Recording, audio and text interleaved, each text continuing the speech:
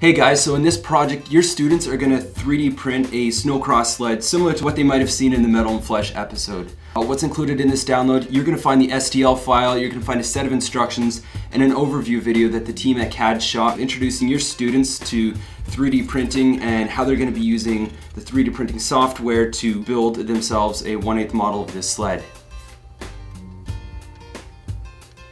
I told you I could do it. They didn't believe that I could keep my mouth shut for an entire episode. And I did it. Well, all the best with the project, guys. Um, Jeremy, you re- good luck. You realize you talked. You owe me ten bucks. I hate you.